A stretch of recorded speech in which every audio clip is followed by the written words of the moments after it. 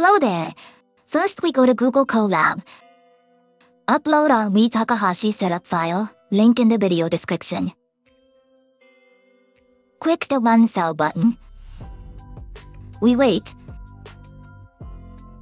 Click the public link. Choose our Rie Takahashi model. Now back to our Colab tab. Click the Files menu. Drag and drop our audio files to the File Explorer area. On I choose an audio file, click the three dot mark, then choose Copy Path. Back to our web UI. Paste the path on this section. Next, choose our pitch extraction algorithm and select our index file. We always can play around with other settings, and if we're done, click Convert. Here we can play our cover audio. To download the audio, click the three dot mark and download. Just repeat the steps for each audio cards.